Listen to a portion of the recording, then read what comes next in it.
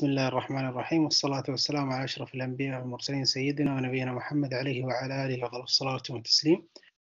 آه، توقفنا آخر آه، محاضرة في اللي هو الشريحة 13 آه، اليوم إن شاء الله راح ناخذ ونستكمل اللي هو بقية ال natural response اللي هو الاستجابة الطبيعية. الاستجابة الطبيعية اللي تحدثنا عنه أنه بعد فتح ال switch إذا كان عندي دائرة RL بعد فتح ال switch راح ندرس طبيعة ال L وما يطرأ عليه من تغييرات سواء بالتيار أو بالجهد المقاومة مقاومة أو مقاومتين. ففي استنتجنا بعض القوانين. هي ال energy والجهد وال power وكذلك آه، التيار. الشريحة 13 راح يكون الموضوع عن ال time constant اللي هو ال time constant for RL circuit. وال time constant المقصود فيه هو الوقت وقت معين آه، يرمز له بالحرف اللاتيني تاو اللي هو ال time constant وهو يساوي L على R. فهو يعتمد اعتماد على قيمة ال L وقيمة ال R فكلما زادت ال L زاد التاو كلما زاد ال R راح يقل. التاو في العلاقة عكسية ما بين ال R والتاو والعلاقة طردية ما بين التاو وال L فأستطيع أن أتحكم في ال time في ال time اللي هو لل natural response للاستجابة الطبيعية للدائرة بالتالي راح يتم صياغة جميع القوانين السابقة وراح تصبح هذه هي القوانين النهائية. فهذا ملخص لجميع ما سبق من قوانين. هذه القوانين كافية لجميع ما سبق ما عدا بعض التفصيلات مثل اللي هو آه، الطاقة الإنرجي آه، والقدرة كذلك لأنه في عندي قوانين هنا في الإنرجي كانت تعتمد على تكامل القدرة وكذلك القدرة كذلك تعتمد على القوانين الأساسية. فإضافة بعض القوانين ولكن في الأساس راح نستعوض اللي هو مثلا على سبيل المثال هنا عندي ال R على L ال R على L في ال energy راح تتحول إلى exponential minus t على تاو minus t على تاو لأنها كانت r على L فأصبح تاو في على المقام والتاو معروف إنه إيه؟ قيمته اللي هو L على r. وال I T كذلك نفس الشيء كان i 0 exponential آه، R على L minus T الآن أصبح exponential آه، I0 exponential minus T على تاو وهذا يندرج اللي هو آه، تغيير على ال VT وعلى القدرة وعلى ال energy اللي هو الطاقة. هذا الجدول عندي لو عوضت بدل ال exponential هذه لو عوضت بدل ال T بالتاو سواء ب 1 تاو أو اثنين تاو ثلاثة تاو أربعة تاو وتفر إليه إلى عشرة تاو. نلاحظ أن القيمة كل ما لا إيش؟ تصغر كل ما لا تقل. okay؟ وبالتالي القيمة ما دام تقل آه فراح آه تقل قيمة الإكسبوننشال إلى أن تؤول إلى الصفر. يعني من عند سؤال؟ دكتور هذا القوانين ولا تعويضات ما أسمعك. التعويض التعويض هذا اللي شرحته ما اسمع اللي شريحة 14 شريحة 14 لا هذه هذه تمثل قيمة ال exponential بس الحاله ال exponential هذه فقط. okay؟ تحفظ ولا فقط لا؟ إنه جدول لا لا ما تحفظ ولا شيء. هذه كيف؟ ما تحفظ أصلا. لا يمكن حفظ هذه هذه ما يحتاج تحفظ هذه يعني. يعني هذا الآن لو عرفت تطبيقها بالآلة الحاسبة طلع جميع القيم هذه. خلاص.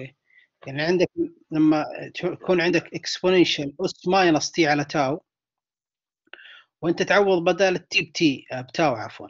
فتصير exponential minus تاو على تاو راح يروح مع بعض فتصير exponential minus 1 يعني هذه راح تصير exponential minus 1 اللي هي تساوي هذه القيمة. بالآلة الحاسبة لو حسبتها راح يطلع لك بهذه القيمة. لو عوضت بدال T ب 2 تاو راح تصير exponential minus 2 تاو على تاو. فتروح التاو مع التاو فتصير exponential minus 2 وهنا تصير exponential minus ها؟ كم يا شباب. 3 3 3 هنا minus. 4 minus 4 4 5 minus 6 minus 7 زي, زي كذا. يعني انت Five, بدل ال T بدل ال T هذه تعوض بالتاو. طيب واحد يسأل يقول إيش المعنى من التاو هذا؟ ليه وضع يعني وضع ال parameter هذا؟ أو ليش وضع التاو؟ ليه وضع هذه الوحدة؟ آه، في طبيعة الحال إنه آه، التاو تمثل زمن معين يعتمد على قيمة ال L وال R بالنسبة لدوائر ال RL okay فبعد بعد خمسة تاو بعد خمسة تاو كأنه ال- ال- الدائرة تصبح مستقرة حتى لو كانت إن شاء الله بعد 100 تاو. فمن هذه القيمة إلى هذه القيمة الفرق جدا بسيط. تلاحظ هنا آه، 10 آه، 6.7 في 10 والسالب 3 وهنا 4.5 في 10 والسالب 5 لو وصلت إلى 10 والسالب إن شاء الله 10 ولا 100 تظل قريبة للصفر. تظل قريبة جدا للصفر. فبالتالي نستطيع القول أن ال RL وال RC كذلك اللي راح نأخذها لاحقا راح تستقر بعد 5 تاو سواء في ال natural response اللي هو بعد فتح ال- switch أو في ال step response بعد إغلاق ال switch إذا أخذناه لاحقا. فبعد 5 تاو تكون الدائرة مستقرة. يعني ال- ال- ال- الزمن ال- ال- ال- اللي هو بعد آه، فتح ال switch أو آه، غلق ال switch فقط هو ال five تاو هو اللي يهمني. وراح نس... إن شاء الله نبينه في المحاضرات اللاحقة. إنه بعد 5 تاو ترى الدائرة تستقر. سواء تستقر التيار والجهد على الصفر أو تستقر التيار والجهد آه، على أعلى قيمة ممكنة. تصل لها الدائرة. وضحت الفكرة؟ هذا هو التاو. راح تبان إن شاء الله. آه، تفضل. اسف على المقاطعه لكن آه، بالنسبة للقوانين هذه هل إحنا نحفظها؟ أو الاستنتاج؟ الاستنتاج. هذه لا هذا فقط استنتاج توضح لك حالة التاو فقط إنه آه، إيش راح يحدث؟ ال exponential إذا عوضنا بدل ال T تاو لأنه بعض الأحيان أنا أسألك أقول لك آه، اوجد لي قيمة التيار بعد 2 تاو. فأنت تعرف إنه هذا كله يتحول exponential اس minus 2 آه، اوجد لي بعد 4 تاو فتعرف إنه exponential minus 4 بس لكن هذه القيم ما لها أي معنى موجودة في الآلة. خلاص تكتب exponential مرفوع للأس سالب 2 سالب 1 سالب 4 سالب 5 تطلع لك إياها الآلة الحاسبة يعني ما يحتاج. وضحت الفكرة؟ وضحت لكن هذا الجدول يبين لك إنه كل ما زادت ال tau أوكي لل exponential s minus إنه راح تكون إيش؟ تؤول إلى الصفر يعني بالمختصر لو برسمها لك بشكل graph راح قيمه قيمة المضروبة في ال exponential إيش الفائدة من ال exponential دائما؟ اللي هي الرمز هذا exponential e إنه دائما تكون القيمة مثلا هنا أوكي بعدين تؤول مع الزمن إلى إلى إيش؟ إلى صفر. الصفر. في عندي إلى شوف لاحظ منحنى. لما تؤول للصفر ترى هذا ترى 5 tau. 5 tau. ثابت هذا. هي في كل الدوائر ال transient circuit ال five tau هو الاستقرار. خلاص. فهو يعتبر كوحدة. يعني يعني هنا مثلا يكون واحد tau قطع أو خسرت ال- ال- القوة هذه أو خسرت التيار خسر أو الجهد خسر آه، 63% بعدين خسر مثلا 70% بعدين خسر 80% لما يوصل خلاص 99% يعني 100% خسر خلاص انتهت انتهت قيمة هذا التيار. أو العكس أو العكس إذا كان آه، المختلف الصيغة هذه وراح هذه راح ناخذها إن شاء الله لاحقا قد يكون يعني فيها تصاعد بهذا الشكل أوكي؟ وتستقر كذلك بعد بعد 5 tau. فتلقاها بعد 5 tau هنا استقرت أوكي؟ فهي تستقر هنا بعد 5 tau أو تنهار هنا توصل لما توصل إلى الصفر بعد 5 tau. وهذا تقسمها 1 2 3 4 5 tau إلى أن تصل 5 tau. هذه الفائدة من ال exponential انها تعطيني منحنى إلى أن يصل إلى الصفر. فائدة يعني هذه من من ميزات ال exponential أو منحنى تصاعدي إلى أن يستقر. أوكي وضحت؟ واضحة الفكرة؟ واضحة بس آه، باشمهندس بعد إذنك آه، هل ال tau هذه لها رمز في؟ يعني لا ما لها رمز. أيوه. لا ما لها هي لها قانون اللي هو هذا القانون L على R أيوه. طيب بالنسبة الله- لدوائر أيوه بالنسبة لدوائر ال RL هي ما مش ثابت زي ال pi مثلا. أيوه هذا كان سؤالي. أيوة. ما, ما هي ثابتة زي ال pi هي متغيرة. آه لاحظ إنه إذا كانت عندي واحد ناقص exponential s minus زي هذه مثلا. أوكي. طيب خلينا خلينا ندرس ندرس زي كويس سؤالك. آه عشان نوضح مثلا أمثلة هنا. خلينا نقول ال t هذه ما ما لنا في القيم هذه أي قيمة كانت؟ يعني نفترض ان هذه ال I zero أي قيمة كانت؟ 10 20 30 أي كلها نفس الأرقام هذه كلها كذلك. ال I ال I هنا في هذه الحالة في حالة ال natural response في حالة اللي هو الاستجابة الطبيعية أوكي؟ في حالة ال natural response اللي هو في حالة الاستجابة الطبيعية. لنفترض إنه عندي هنا قال لك ال t أكبر أو يساوي الصفر يعني ال t هذه راح تزيد. مرة واحد ملي مرة اثنين ملي ثلاثة ملي خمسة ملي واحد second اثنين second ثلاثة second مية second. أوكي؟ طيب. لنفترض إنه أنا حطيت هنا 5 tau 5 tau ال tau أعرف إنها L على. طيب بعيدا عن ال tau خلاص خلي خلي ال tau هذا ال tau نحي. يعني بدل قيمة ال tau هذا نطلع إنه نكتب هنا 5 millisecond. أوكي؟ إن حسبناه على سبيل المثال L على R وطلع عندي هنا 5 millisecond أوكي؟ وال t هذه في ازدياد. في ازدياد أوكي؟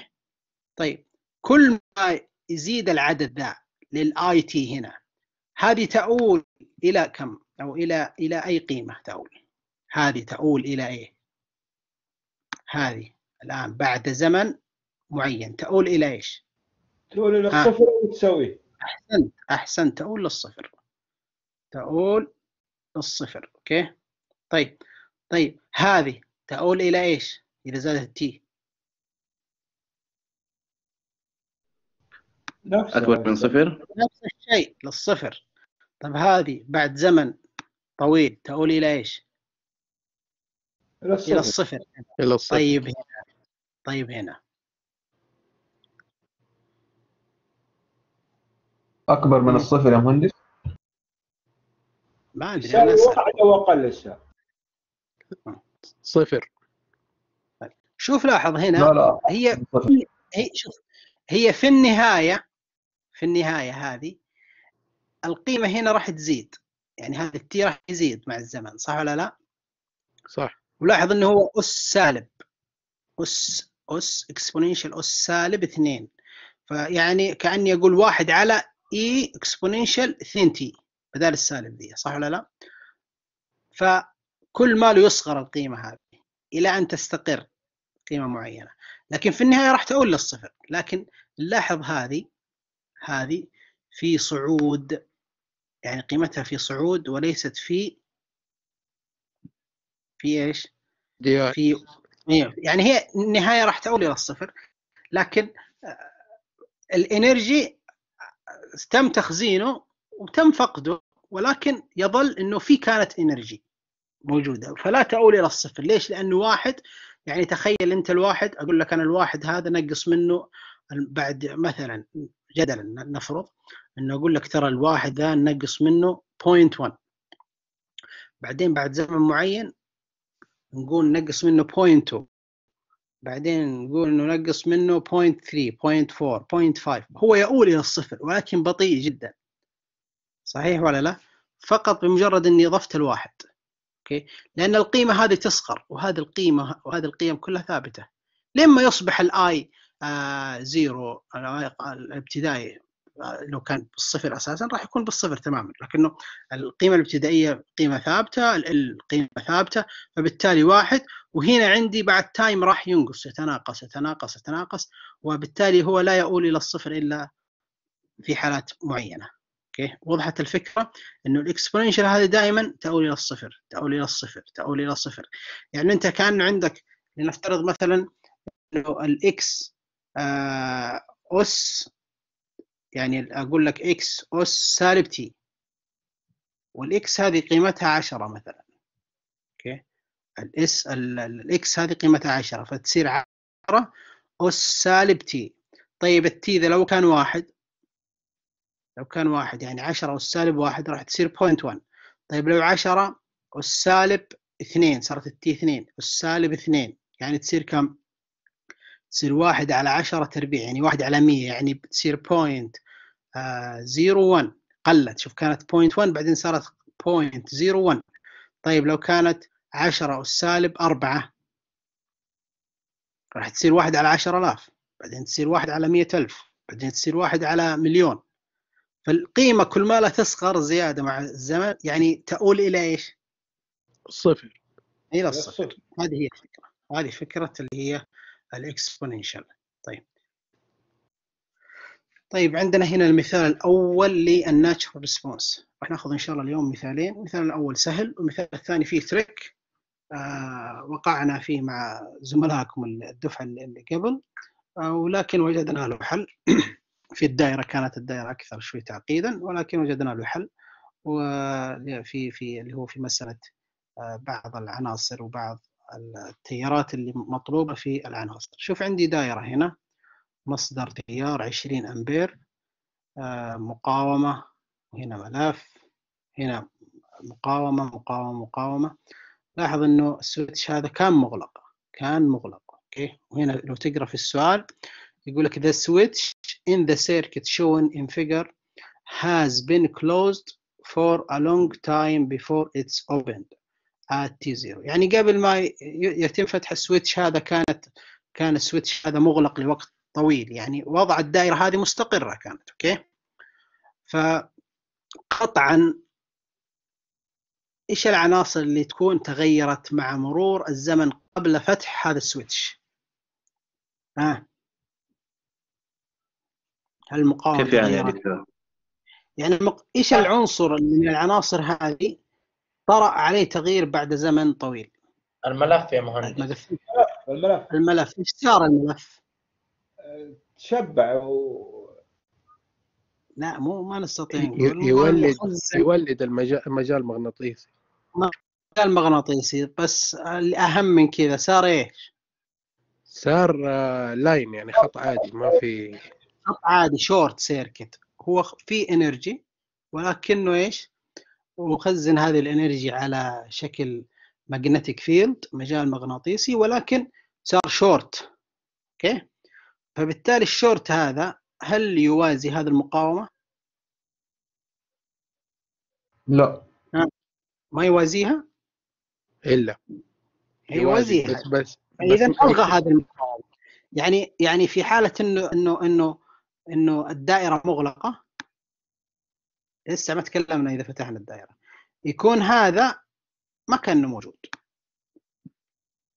صحيح؟ صحيح. أنت- ل- لأن التيار التيار يختار آه، ال- آه، اللي هو يكون أسهل. أسهل طريق. يعني ما يروح للمقاومة.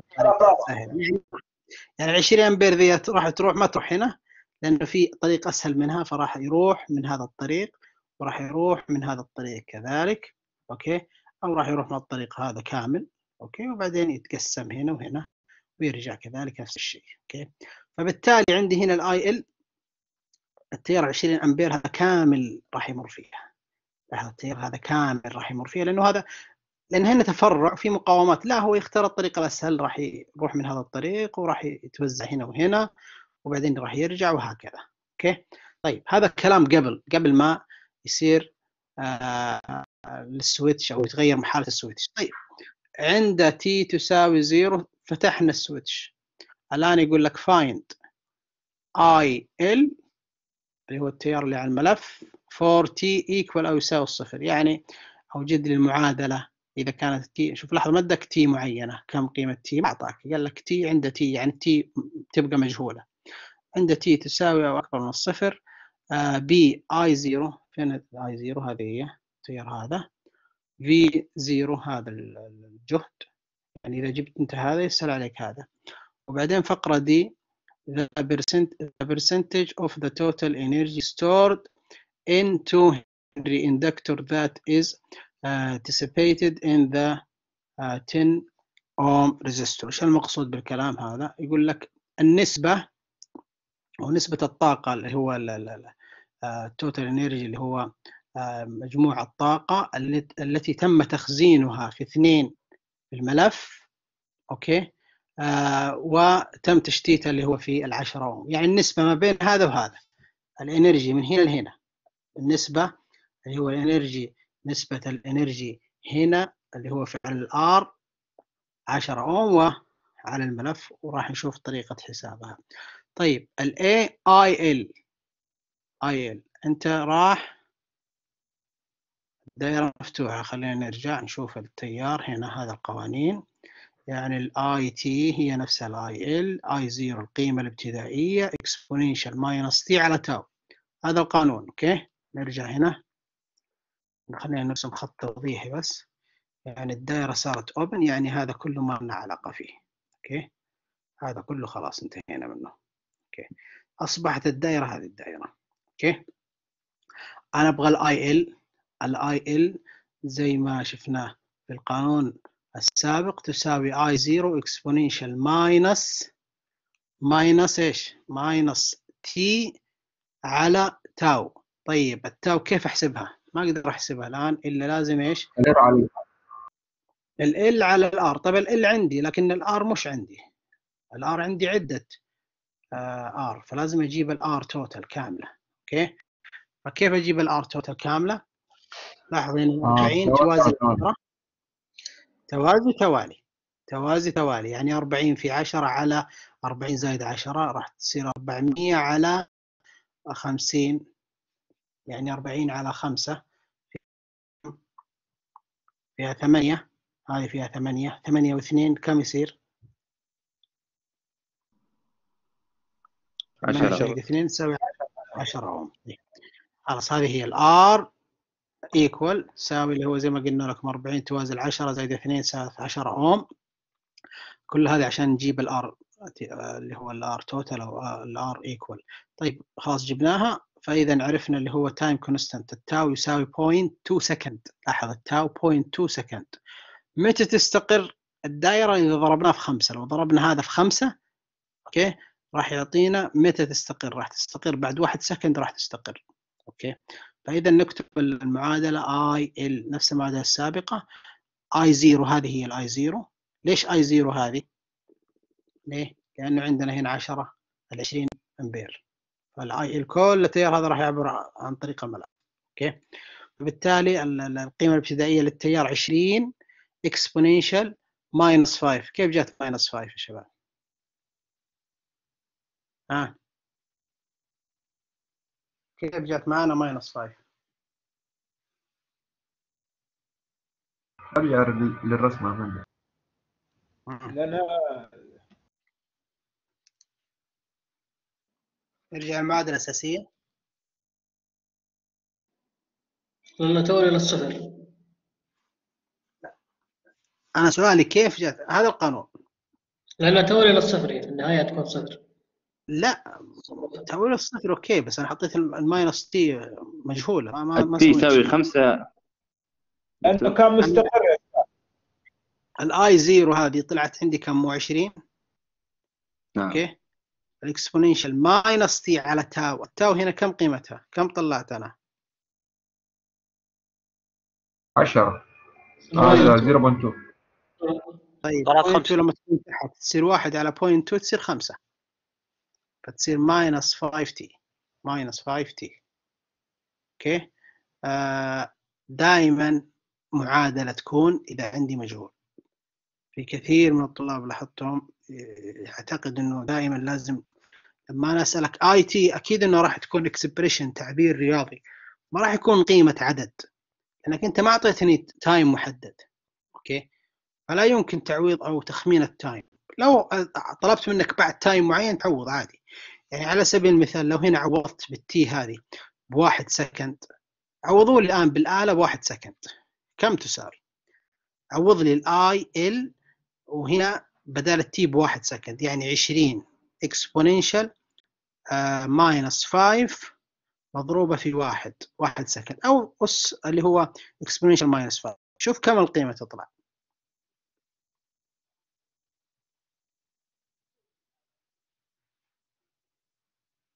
كم تطلع يلا؟ أحد لا. عنده آلة؟ اللي هي تكون 3.125 في 10 والسالب 7 20 exponential exponential موجودة عندك في الآلة الحاسبة. minus 5 راح تكون عندي فاصلة واحد ثلاثة أربعة. يعني 13 من 100 يعني 134 ملي ملي أمبير.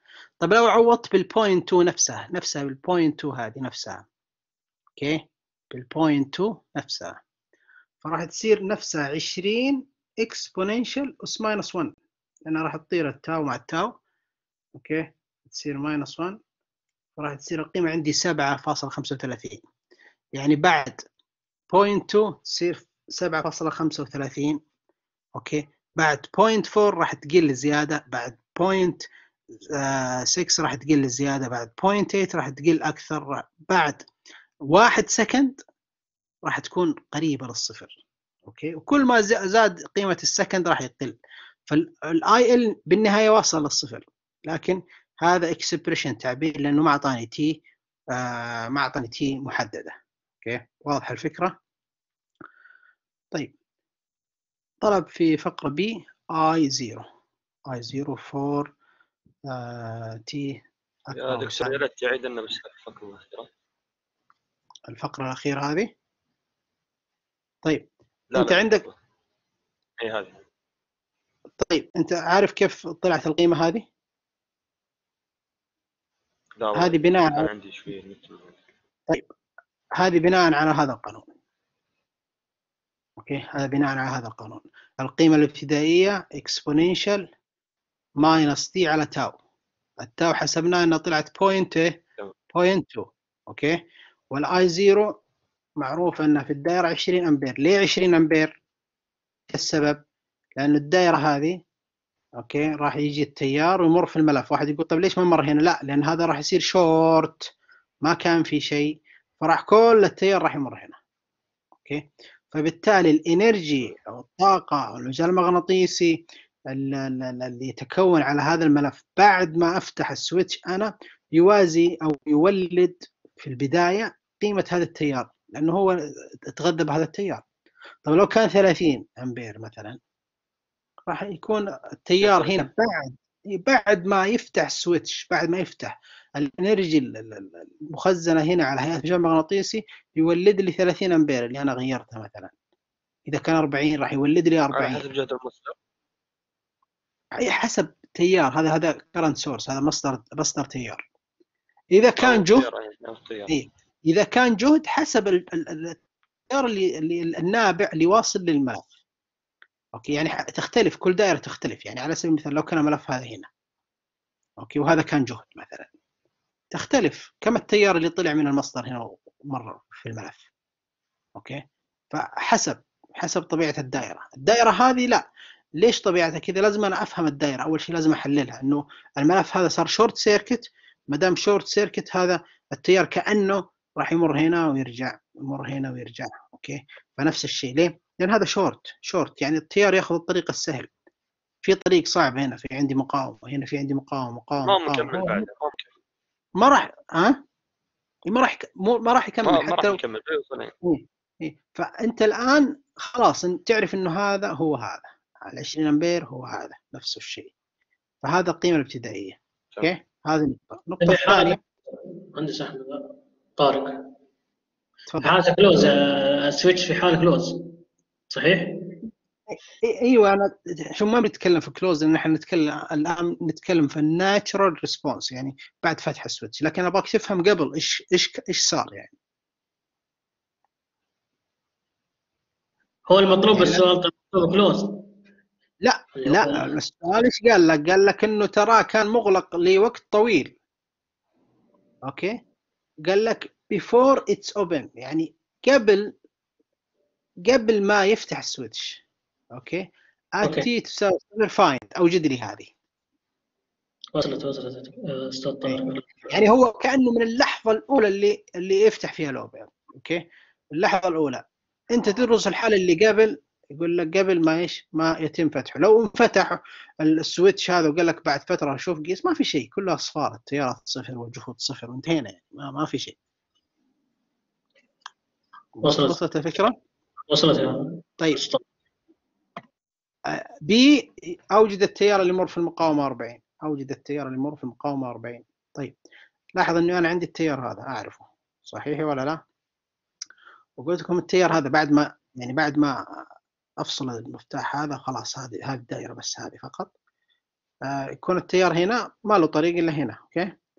وراح يتقسم هنا وهنا. فإيش الحل المناسب؟ عشان أطلع قيمة التيار زيرو مم. تيار فرع. وعندي هنا مقاومتين على التوازي. حصل الجمع حصل الضرب. لا. بالنسبة للت- للمقاومة التيار أيوه لا، ما أبغى أجمع. أنا أبغى أبغى التيار اللي يمر هنا في ال 40 لأنه هو طلب مني ال I 0 t قانون ها يا شباب. في قانون أتوقع للتيار يا دكتور نسويه؟ اللي هو؟ والله ما نتذكره بس آه، ممكن ال- التيار. مجزئ التيار. نعم. وال current divider أو الك- الك- ال current divider. أيوه نضرب التيار في ال- أنت التي... كيف ال current division أنا عندي هنا توازي لازم يكون عندي توازي. التوازي هذا لازم أعرف التيار المغذي للتوازي هذه قبل. أنا عارفه هو 20 هنا يوصل ل 20 أمبير ويوصل هنا يتفرع هنا يتفرع هنا okay؟ راح جزء منه يروح هنا وجزء منه راح يروح هنا أوكي؟ فالتيار هذا أقدر أجيبه بقانون مجزئ التيار والتيار هذا كمان أجيب مجزئ التيار. طيب أنا إذا بشرط واحد إنه يكون التيار هذا عارفه أنا هنا قيمته كم. مو تجيب لي تيار مثلا هنا وتقول لي أقدر أطبقه. لا لازم التيار المغذي للف- للفرع هذا أو الفروع هذه اللي على التوازي. فاذا التيار اللي هنا 20 أمبير فخلاص أنا عارف إني أبغى التيار هذا. فيصير التيار هذا يساوي التيار المغذي الرئيسي مضروب في المقاومة البعيدة. المقاومة البعيدة مو هذه ولا هذه ولا في أي مكان. المقاومة البعيدة اللي هي على التوازي مع المقاومة هذه. يعني لو كانت مثلا عندي عشرة وفي مقاومة ثالثة هنا مثلا okay؟ تصير المقاومة البعيدة لها هل هي العشر مثلا نفترض أنه في مقاومة هنا على التوازي مثلا 20 قيمتها 20 هنا okay؟ المقاومة البعيدة بالنسبة للأربعين هذه إيش هي؟ هل هي العشرين اللي أنا استحدثتها أو العشرة؟ العشرة. لا خطأ. 10 يعني على التوازي. لا خطأ. المقاومة آه. بعيدة موت ال 40 اثنين تكون يا دكتور. اثنين أحسنت. ليه تكون 40 اثنين مع بعض. هي المقاومة البعيدة كاملة اثنين مع بعض. okay؟ بتصير المقاومة البعيدة للأربعين هذه. إذا بجيب التيار هنا أقول التيار الأساسي المغذي مضروب في المقاومة البعيدة على مجموع المقاومتين هذه. مجموع المقاومتين.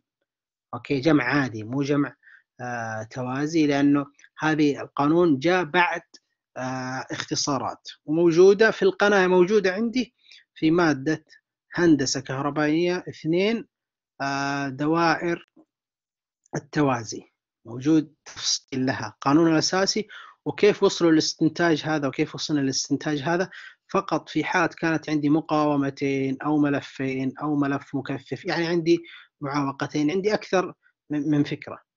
okay؟ يعني عندي أكثر من عنصر يعني عندي عنصرين فقط على التوازي okay؟ فكيف وصلوا؟ يعني ما ينطبق على ثلاثة أو أربعة على التوازي أو خمسة لا طبق القانون الأساسي. لكن إحنا الآن نبغى نجيب التيار الأساسي هذا يساوي التيار ال- المصدر مضروب في المقاومة البعيدة على مجموع المقاومتين. طيب أبغى أجيب التيار اللي هنا. ها؟ إيش يساوي؟ نفس اللي هو الشيء. التيار المغذي في المقاومة البعيدة 40 40 احسنت على على مجموع 40 على مجموع عشرة. المقاومتين أحسن. بس هذا هو وصل مع العلم التيار هذا شوف اتجاهه كيف. وراح يكون بالاتجاه هذا. ال I zero إيش وضعه؟ عكسه. دام إنه عكسه إيش راح يصير؟ ها. عكس هذه الاشاره السالب أحسنت السالب. فلاحظ إنه هذه فقرة B يقول لك وجدناه بال current division نفس ما ذكرنا I zero يساوي التيار المغذي ال IL اللي هو بال minus شوف له حاط الإشارة. 10 المقاومة البعيدة على 10 زائد 40 okay. طيب ال IL هذه فينها؟ حسبناها هنا قبل. أخذ هذه كاملة. واجي أعوضها هنا. طلعت معي سالب 4 exponential minus 5 على T هذه وضحت؟ واضحة يا شباب؟ دكتور المقاومة اثنين ليش ما دخلناها في في الدائرة كاملة؟ ما لها علاقة نهائيا. زميلكم يسأل لأنه طلبنا ليش- ال- المقاومة 40 عشان كذا ما دخلناها. طيب أنا أقول لك دائما ال current division يتعامل مع مقاومات على التوازي. خليها في بالك. okay؟ فأنا التيار اللي هنا لو كان في عندي تيار هنا ما يفيدني هنا. okay؟ ما يفيد ما أعرف إنه إنه هنا هو اللي غذى لي النقطه هذه ال node. okay؟ فالمقاومة هذه خارج الحسبة يعني. هذه مقاومه خارج الحسبة برا. لو كانت هذه المقاومة هنا لا. okay؟ تختلف. okay؟ لو كانت المقاومة هذه هنا لا يختلف الكلام. لكن هي برا برا التوازي هذا. okay؟ برا الفرعين هذه اللي على التوازي. لو كانت في الداخل هنا أعتبر هذه كلها مقاومة واحدة. لو كانت هذه اثنين هنا جنب العشرة أعتبرها كلها مقاومة واحدة. okay؟ لكن هي برا الفرع خارج الفرع. فالتيار IL هذا لما يوصل هنا يتفرع okay؟ لما يرجع هنا إيش يرجع؟ يرجع IL ولا يرجع I zero بس؟ ها؟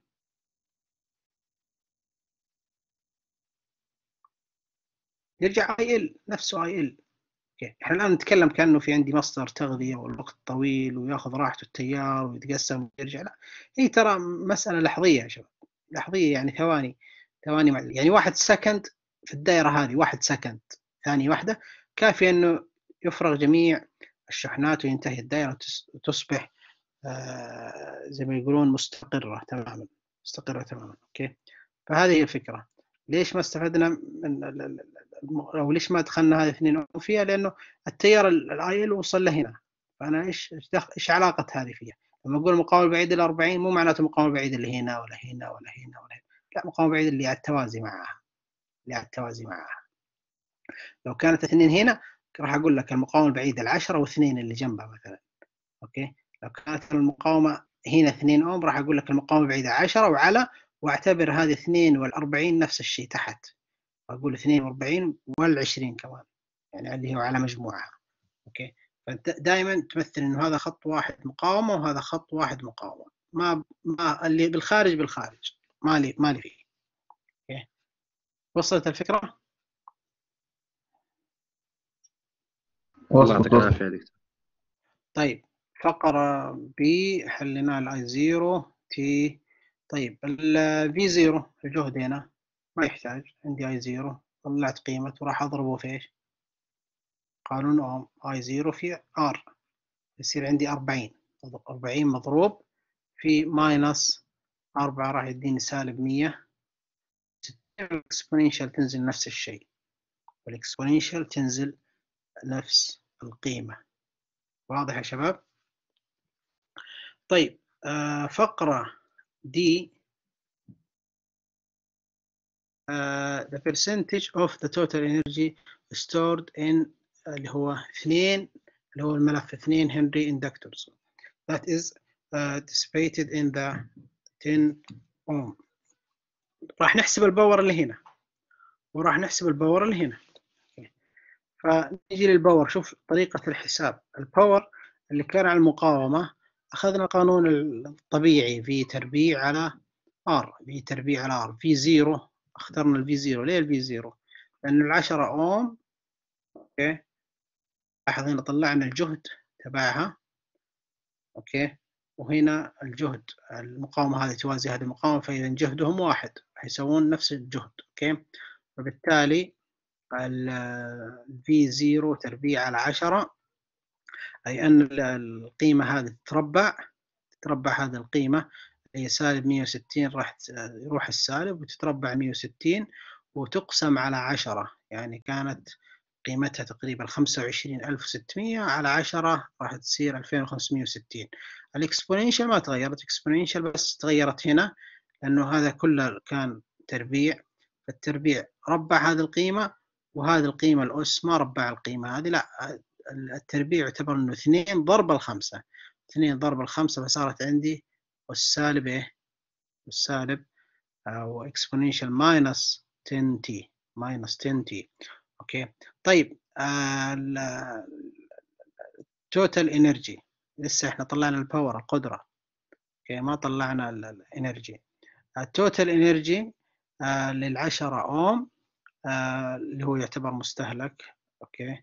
نكامل يتم مكاملة هذه من صفر إلى ما لا نهاية دائما إلا في حالات محددة. راح نأخذها إن شاء الله لاحقا. من صفر إلى ما لا نهاية 2560 exponential minus 10 t يصبح عندي الناتج اللي هو 2000 في النهاية راح يكون عندي 256 وهذه التكاملات مط- مطالبين أنكم تعرفوا كيف طريقة تكامل الإكسبوننشال اللي هو راح يصير ال- 2560 exponential minus 10 t على minus 10 على minus 10 وبعدين نعوض بال infinity راح يدينا صفر. وبعدين آه، راح تصير صفر ناقص آه، 2560 آه، على ناقص 10 فيروح السالب مع السالب وتروح العشرة مع الصفر هذا تصبح 256 جول 256 جول. هذا ال energy اللي موجودة في إيش؟ المستهلكة اللي تم استهلاكها في على المقاومة على 10 أوم. طيب نشوف اللي على الملف. هنا عندي 256 هنا. آه، the initial energy stored in 2 Henry inductors. عوض بال time صفر. خلاه ال time صفر. لأنه هنا كامل من صفر إلى ما لا نهاية. طلع قيمة. Okay؟ هنا راح يعوض بقانون آخر. فين القانون هذا؟ من فين جاء؟ موجود من من القوانين اللي أخذناها سابقا اللي هي هذا شوف لاحظ هنا ال energy اخذ كامل لل power في حالة المقاومة وهنا لا وال- وال- والملف لا عوض مباشرة. نص L I تربيع وعوض هنا بال t بصفر. يعني أخذ هذه واحد ناقص وعوض هنا بالصفر فبالتالي صار عندي الناتج في نفس الشيء هنا. نص نص L اللي هو باثنين I 20 أصلا في الأساس. Okay؟ ف20 بالأساس صارت كم عندي؟ آه تربيعها 400 وهنا هنا القيمة اللي هو بالنسبة ل- لل time اللي هو آه صفر. يعني هذه مو مضروبة في الصفر يا شباب. كيف جات كذا؟ لأنها لو جينا هنا رجعنا القانون الأساسي عندي واحد وعندي هنا ال t بصفر okay؟ فتصير واحد ناقص exponential minus t. Okay؟ minus t وهنا عندي آه، قيمة آه، صفر. أوكي؟ بالتالي راح يكون هذا عندي صفر وبالتالي تضرب في واحد فيصبح عندي الناتج هذه القيمة. القيمة اللي هو 400 جول. طيب نبغى نوجد ال percentage percentage ما بين ال- ال- ال- energy اللي تم استهلاكها على المقاومة وما بين ال energy أو نسبتها لل energy اللي هي ال initial energy اللي هو stored اللي تم تخزينها الابتدائية ال energy الابتدائية في الملف اللي كانت موجودة وتم فقدها. Okay؟ فتصير عندي 256 على 400 في 100 إيجاد نسبة. Okay؟ لو ما ضربتها في 100 راح تصير 0.64 ولو ضربتها في 100 راح تديني بالنسبة المئوية 64 في المية 64 في المية تقريبا. هذا هو ال example الأول مهم جدا okay؟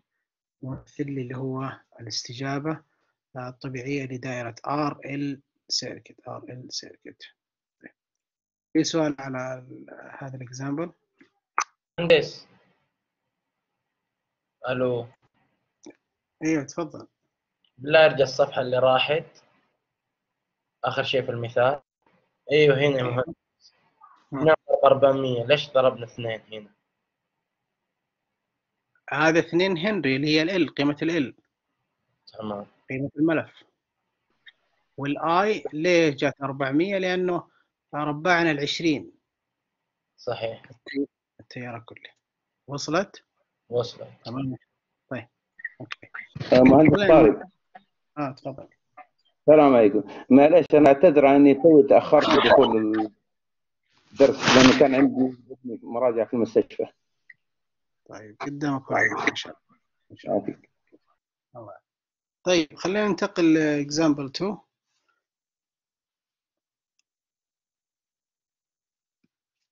لحظات يا شباب.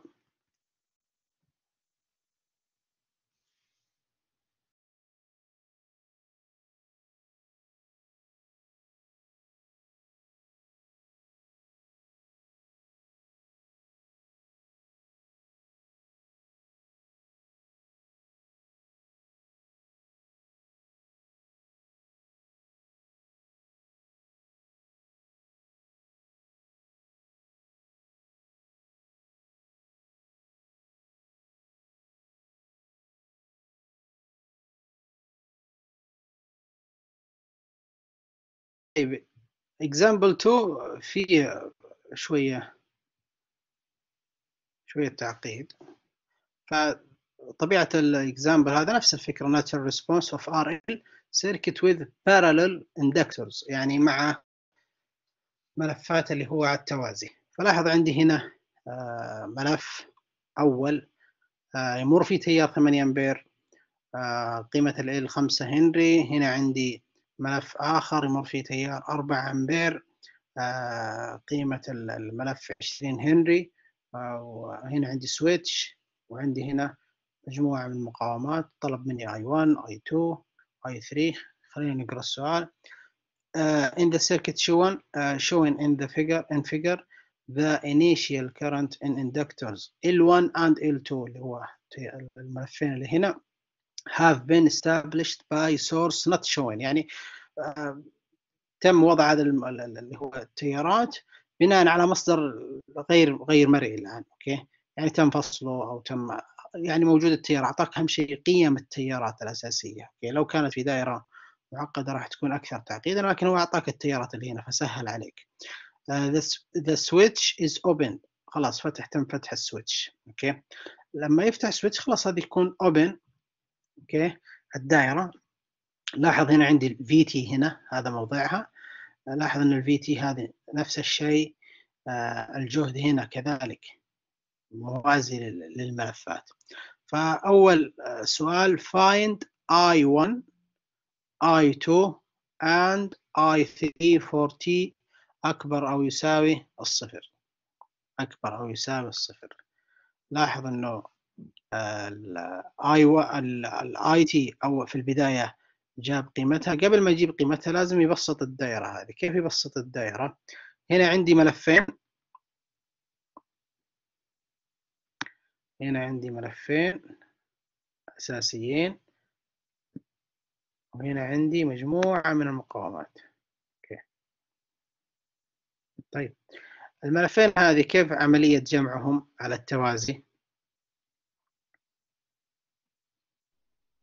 حاصل ضرب على الجمع على حسب الضرب. حاصل الضرب على الجمع تصير 5 في 20 100 على 25 في بأربعة راح تصير أربعة هذه. طيب هنا هذا توازي 15 مع العشرة توازي آه 15 في 10 150 على 25 تقريبا آه، نقول 6 6 تقريبا. خلينا نحسبها. 10 في 15 على آه، 25 راح تكون 6 زائد 4 ب 10 10 في 40 400 على آه، على 50 يعني 40 على 5 ب 8 فراح يصير هذا والتيار كذلك تجمع يعني هنا 8 أمبير بنفس الاتجاه هذا الاتجاه هذا وهذا الاتجاه هذا راح تصير 12 أمبير. لاحظ إيش صار؟ صارت 12 أمبير ال- ال- ال- الملف صار 4 هنري والمقاومة صارت 8 كل هذا عشان أجيب آه، شيء مهم جدا اللي هو إيش؟ اللي هو إيش؟ آه. اللي هو ال tau. time constant time constant اللي هو ال tau. 4 على 8 هذه 4 على 8 L على R 4 على 8 تصير نص نص second فاذا ال i t i t الأساسي المهم في الدائرة بناء ال v t okay. راح يصبح 12 12 قيمته. كيف 12 جات؟ هذا هو 12 okay. يعني ال i t الشامل للملفات. يعني ما جبت أنا الفرع اللي هنا ولا اللي هنا. لا جبت ال i t i t يساوي 12 exponential minus 2 كيف جت minus 2 لأنه minus t على tau اللي هو نص. فيصير minus t على نص. راح صارت إيش؟ آه 12 exponential minus 2 t 2 t بالتالي ال v t هنا ال v t الجهد هذا راح ناخذ التيار هذا ونضربه في الثمانية فتصير 8 في 12 راح تصبح 96 exponential minus 2 t هذا ال v t okay. طيب إلى الآن ما حسبنا ال i 1 لاحظ انه ال i 1 وال i 2 وال i 3 تختلف. كان عندنا إشكالية مع زملائكم في ال i 3 لأنه حلها هنا باختصار شديد فوجدنا طريقة حلها ال i 1 لاحظ إنه أخذ الجهد اللي هو هذا الجهد ال v t طيب يتساءل شخص ليه أخذ الجهد هنا وكامله وقال وحسب اللي هو واحد على خمسة وكامل آه الجهد إيش السبب؟ ها يا شباب مين يجاوبنا؟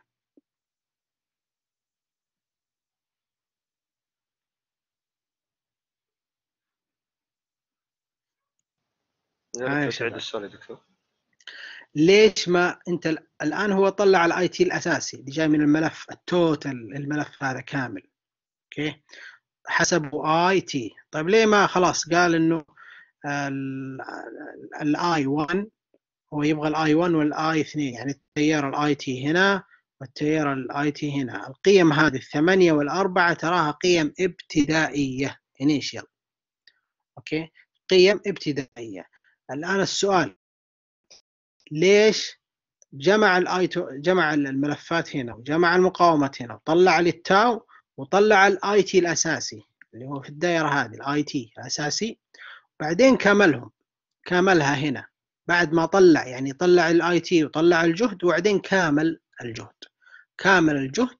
وهنا قال لي واحد على خمسة يعني هنا قال لي واحد على آه L بالعربي. هذا هذا هذا اللي هو هو هذه هذه المعلومة المهمة. طيب اختصارا للوقت التيار هنا لو نرجع للقوانين الأساسية اللي سبق أخذناها في المحاضرة السابقة يعني نرجع هنا.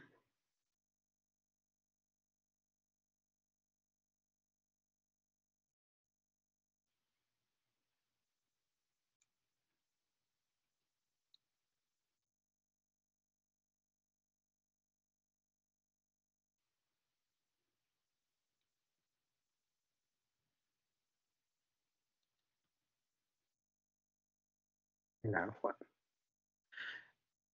لما يكامل أوكي لما يكامل الجهد يعني شوف لاحظ هنا عندي التيار أوكي؟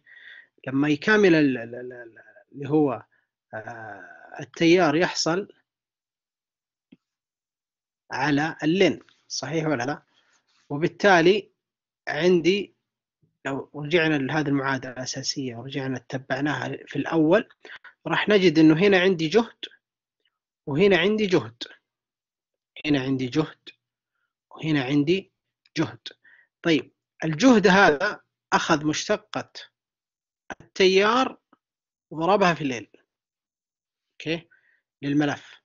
أخذ مشتقة التيار اللي مر في الملف وضربها في الليل. هذا لحساب إيش؟ الجهد. صحيح ولا لا؟ يعني هذا الجهد بقانون كيرشوف. كيف طيب واحد يقول طيب كيف عرفت إنه جهد؟ لأنه هنا شوف R في i R في i قانون اوم اللي هو يساوي v okay؟ طيب حتى هنا v L ترى. okay؟ طيب كيف جاب ال v L هنا؟ أخذ الملف L وضربه في آه، مشتقة التيار بالنسبة للزمن. كيف في مشتقة التيار بالنسبة للزمن. طيب لو أنا أبغى أطلع التيار العكس وأسوي عملية معاكسة نفس اللي هنا يصير. راح ال- الواحد على ال وأكامل الجهد. يعني لو أبغى أحسب example 2 أبغى أحسب التيار التيار هذا راح أقول واحد على ال. من فين جات هذه؟ الخمسة؟ من هنا. شوف هنا اي 1 اللي يمر في ال 1 هذه ال 1 هذه هي الخمسة أوكي؟ فأقول واحد على ال اللي خمسة تكامل الجهد. طيب أنا طلعت الجهد هنا. الآن لو أخذت اشتقاقها يعني ضربتها في خمسة هذه مرة الحين جيت هنا وأخذت اشتقاق هذه وضربتها في خمسة راح ترجع وتديني اللي هو الجهد هذا. وضحت الفكرة؟ فيها تريك هذه شوية. لو آه، أخذت اشتقاق هذه وضربتها في الخمسة في ال راح يعطيني الجهد الأساسي. لكن أنا هنا لا بطلع التيار. إيش أسوي؟ أك- أكامل أكامل الجهد هذا ال V T أكامله. 96 exponential minus 2 واحد على خمسة برا يكون معامل coefficient أوكي؟ أوكي؟ فيصبح هذا هي تكامل الجهد. طيب هنا عندي ناقص ثمانية. من فين جات ناقص ثمانية؟ امم اللي هو مجموع ال- الملفات ها يا شباب. سمينكم يقول مجموع ال يساوي 8 ولا 12 ال نرجع هنا.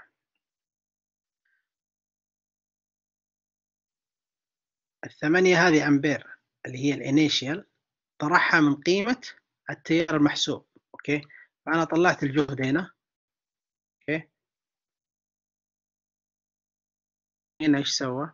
واحد على ال تكامل ال VT ونقص منها ثمانية ثمانية أمبير الأساسية اللي هي ك- قيمة ابتدائية. هنا قال لك إياها إنه آه، L1 and and L2 have been established by source not shown يعني مو موجودة. في عندي initial current in inductors. فأنا أطرحها من قيمة الثمانية أوم. طيب و- وال- وال- وال- ال- ال- الفقرة الثانية اللي هي اي 2 نفس الشيء. واحد على 20 يعني واحد على ال 2 شوف واحد ال 2 هذه هي موجودة. أوكي. وكامل الجهد الجهد اللي هو في t اللي هو هذا. أوكي. وطرحها من سالب 4 اللي هي القيمة الابتدائية. اللي هي هذه. أوكي. فبالتالي آه، التكامل عندي هنا واحد على خمسة أخذه عامل مشترك في الأساس أطلع برا. وكامل ال 96 راح تصير 96 exponential minus 2 x على minus 2 أوكي؟ وأعوض مرة بال t ومرة بالصفر. راح تصير هنا عندي واحد في 96 راح ي- وأضربها في. وأقسمها على خمسة. فراح تطلع معي النتيجة اللي هي آه، واحد فاصلة ستة ناقص تسعة فاصلة ستة. لأنه هنا راح يكون عندي القيمة آه، ستة وتسعين. خلينا نحسبها ستة وتسعين على خمسة. ستة وتسعين تقسيم خمسة وعندي قيمة ثانية هناك. ناقص ثمانية راح تديني. محصلة. واحد فاصلة ستة والقيمة هذه اللي هي تسعة آه، فاصلة ستة exponential minus 2 t. والاي 2 نفس الشيء نفس الناتج. نعم. كيف حسبتها؟ خلاص انت تكامل هذه. أول شيء في البداية تكامل هذه القيمة اللي هي 96 exponential minus 2 x أوكي؟ على minus 2 على minus 2 تعوض المرة الأولى آه، ب t ال t زي ما هي. والمرة الثانية تعوضها اللي هو بالصفر أوكي؟ تمام حلو.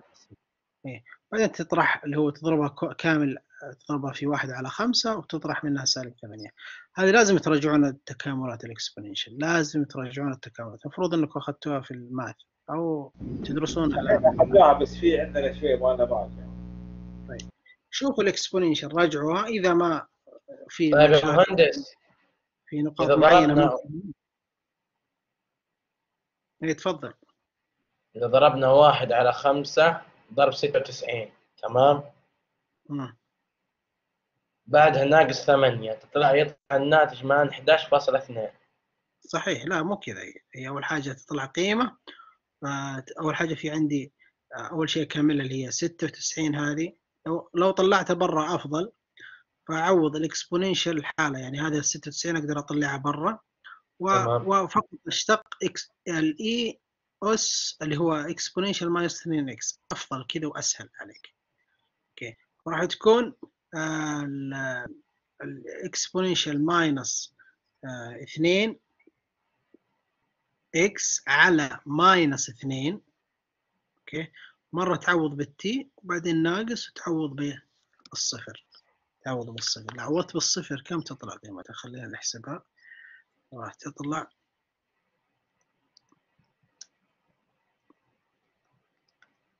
minus 2 minus راح تصير 1 على راح تصير ناقص نص.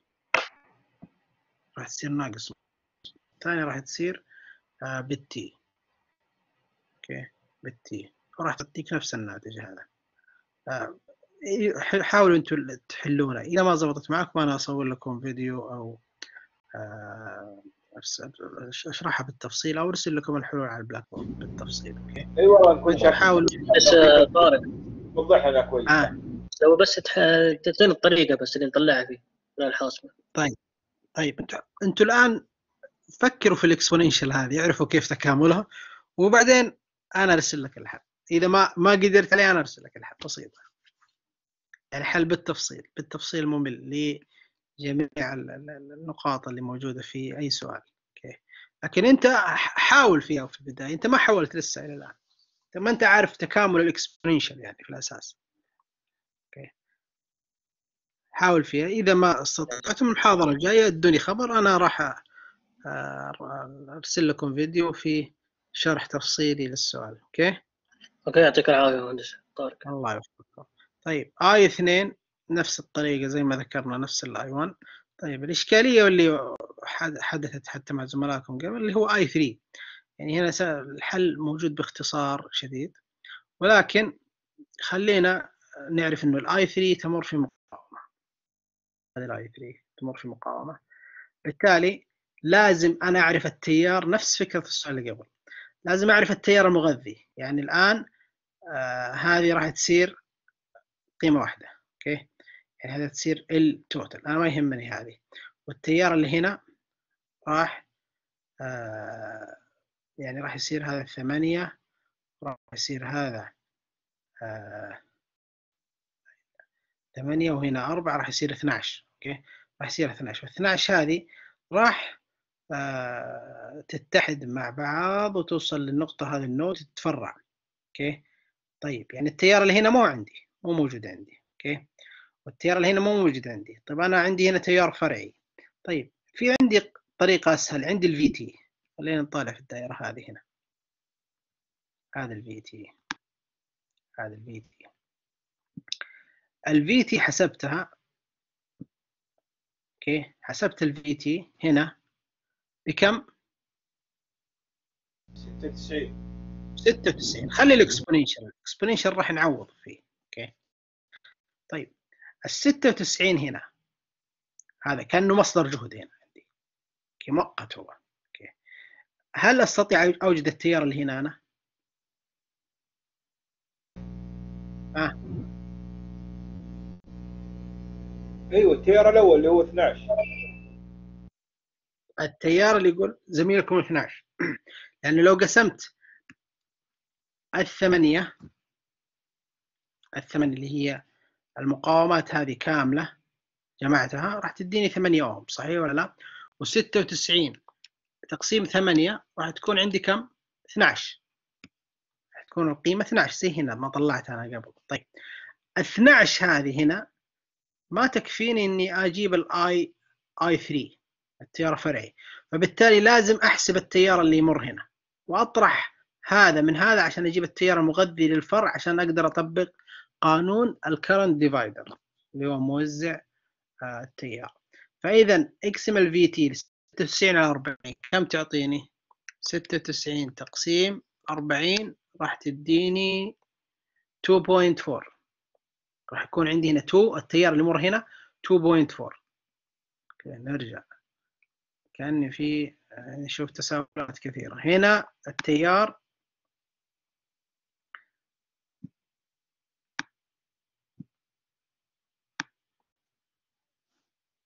اثناش. اعتبره هذا اثناش أوكي؟ خلينا نكتبها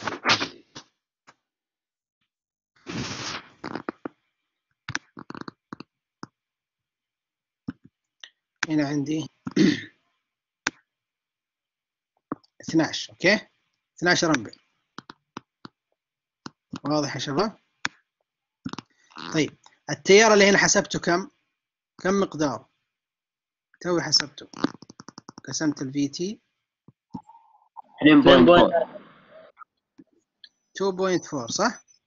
نعم صحيح. 2.4 بدون exponential أنا ما أتكلم بأرقام صحيحة الآن بعدين نعوض ال exponential طيب اطرح هذه من هذه. كم تطلع هنا؟ 9 9.6 9.6 يعني هنا التيار راح يكون 9.6 أوكي طيب الآن أقدر أقول إن التيار هذا هو المغذي للفرع. أوكي وبالتالي مغذي الفرع خلاص أطبق القاعدة ال current divider اللي هو التيار هذا الأساسي مضروب في المقاومة البعيدة اللي هي 15 على كم؟ على كم؟ 40 يا دكتور. لا مجموعهم اللي هو كم؟ 25 تمام. فيلا احسبوها معي.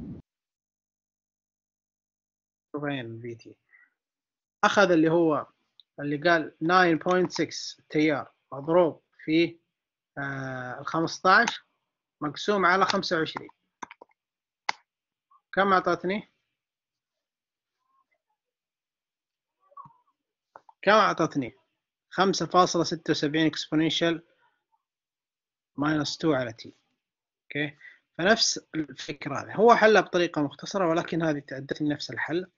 وتعويض الاكسبوننشال نفس الشيء راح تديني آه، نفس الشيء راح تعطيني نفس القيمة آه، الفقرة C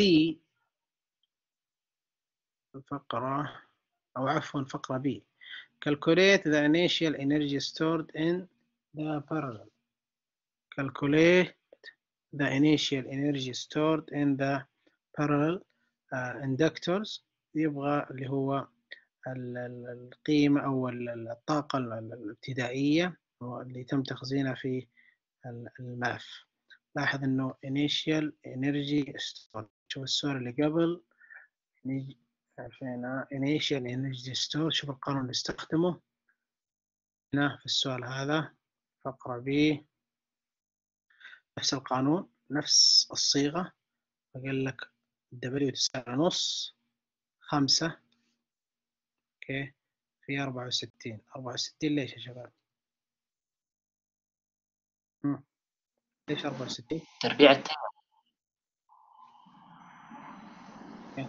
أربعة وستين أو تربيع ثمانية والخمسة فقال لك نص. أوكي.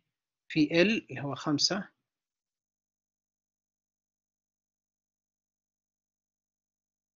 هو خمسة. أوكي. في الثمانية تربيع الثمانية. طيب. هذا ال 1 طيب واللي بعده؟ نص في عشرين قيمة ال الاثنين. فين ال الاثنين؟ هذه هي. تربيع. تربيع اللي هو إيش؟ الأربعة صارت 16 أعطتني 320 320 جول. كيف نفس ال- الطريقة والسؤال ال example اللي قبل طيب C فيه trick C determine how much ener- energy is uh, is stored in the inductors as t تؤول إلى ما لا نهاية. يعني يقول لك كم مقدار ال energy اللي اللي تم تخزينها في ال inductors على مدى يعني إذا كانت T تؤول إلى إلى ما لا نهاية. بالتالي راح يحسبها بطريقة مختلفة. نفس القوانين السابقة ولكن غير قيم التيار. شوف لاحظ هنا نفس القانون. لاحظ القانون هذا ولاحظ القانون هذا. الاختلاف راح يكون عندي في إيش؟ تيار. في التيار. شوف هنا التيار هنا كان 8 وهنا كان 4 مربع وهنا لا مختلف. طيب من فين جاب هذه القيم؟ جابها من I1 و I2 لاحظ I1 أخذ هذه القيمة. ليش أخذ هذه القيمة؟ ليه؟ لأنه هو قال لك T تؤول إلى ما لا نهاية. T تؤول إلى ما لا نهاية. لاحظ أنه في ال I 1 خلينا نشوف. هذا في النهاية الجزء هذا راح يؤول إلى إيش؟ راح يكون إيش؟ راح يؤول إلى الصفر. خلاص انتهينا. طيب فأخذ ال 1.6 لل 1 طيب هنا هذا راح يؤول إلى إيش؟ إلى الصفر فراح أخذ سالب 1.6 أوكي؟ فبالتالي السؤال مهم جدا. قال لك determine how much energy is stored in inductors. يعني يقول لك كم يعني مقدار ال energy اللي راح يخزنها مع إذا كانت t تؤول إلى ما النهايه هو لاحظ إن ال energy أصلا قلت يعني قليل يعني كانت ال initial 320 وأصبحت كم؟ ظلت energy. إذا كانت t إلى ما لا نهاية. أصبحت يقول لك therefore a long time after the switch has been opened the energy stored into in the two inductors. يعني راح تكون مخزنة هذه ال energy. هذه موجودة. 32 جول. 32 بينما كانت الابتدائية كانت اللي حاول إنه صارع الملف و, و, و وأنتج مجال مغناطيسي معاكس عشان يحاول يحافظ على ال energy هذه. ولكن ذهبت 320 هذه وتبقت اللي هي 32 32 جول طيب الفقرة الأخيرة show that the total energy delivered to the resistive network equals the difference between the result obtained in B اللي هو in B and C هنا كانه يختبر حلك يعني بالعربي يعني. هو يقول لك ال total energy الواصل لشبكة اللي هو الشبكة اللي فيها أوكي؟ يمثل يمثل الفرق ما بين b و c يمثل ما بين b و c ولا ولا نشوف كيف. إيش معناته الكلام هذا؟ آه لاحظ. هنا يقول لك we obtain the total energy delivered to the resistive network اللي هو الجزء اللي فيه مقاومات by integration the expression for uh, for اللي هو ال P. فنحسب ال P. طيب ال P كيف يحسبه؟ راح I تربيع في R I تربيع في R فين ال I تربيع وفين ال R هو يتكلم في ال R كامل هنا ال R ال R كم؟ ثمانية والاي كم قيمته؟ ها كم قيمته؟ صح صحوا معي شباب 12 12 ما؟ 12 ربع 12 ما 12 اديني 144 ولو ضربتها في الثمانية راح تديني 1152 أوكي؟ 1152 exponential minus 4t minus 4t يعني راح يربع هذه ال i t يعني راح يربع هذه وراح يربع هذه كذلك. يعني نفس هذه كان راح تربع فتصير minus exponential minus 4t minus 4t هنا minus 4t طيب وكاملها الحين يطلع ال energy من صفر إلى ما لا نهايه والنتيجة زي ما قلنا لكم لازم تعرف كيف آه، تاخذ التكامل وتحسب التكامل. طلع عندي 288 هو قال لي إنه ترى تراه آه، يمثل الفرق ما بين ال b وال c طلع عندي هنا energy مختلف 288 وهنا عندي 32 بعد t تؤول إلى ما لا نهاية. وهنا طلع عندي 320 طيب خلينا نطرح هاي 320 من 32 كم تطلع؟ 288 وهو قال لك الشيء هذا في السؤال أصلا أساسا. ترى show show that the total energy delivered to the resistive يعني ال energy الموجودة هنا ترى هي تمثل الفرق ما بين الابتدائية وما بين ال energy اللي تم تخزينها ما زالت موجودة يعني أوكي؟ فهذه ال energy هي اللي تم استهلاكها من قبل المقاومة وتم بعد ما فتح ال switch وبعد ما انتهت الطاقة وبعد ما استقرت الدائرة خلاص تم استهلاكها استنزفت تم استنزافها فأصبحت هي الفرق ما بين هذه وهذه اللي هي تمثل 288 288 كذا نكون غطينا ال RL كامل أوكي؟ ال RL كامل ويتبقى إن شاء الله اللي هو ال RC ال RC بإذن الله. راح نستكمل إن شاء الله في المحاضرة اللاحقة بإذن الواحد الأحد. هنا هو هي طريقتها واحدة يا أستاذ بس في المذكرة خليها يعني مختصر قولي لخبطنا شوي شربنا